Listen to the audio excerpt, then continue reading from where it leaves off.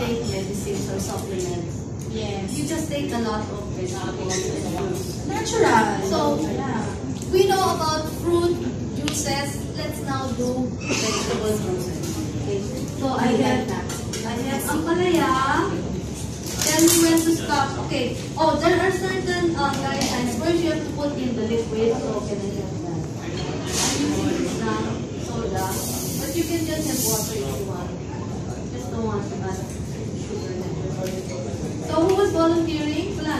Who wants to do it? Yay! Good sure. What's your name? Uh, Angel. Hi. Angel. Hi, Angel. Angel. Okay, you put in your ampalaya. Up to you. I have, I have, wait, I have. Go, Angel. What will you name, Angel? Um, after Maria, I'm a student volunteer. Oh, you're a teacher!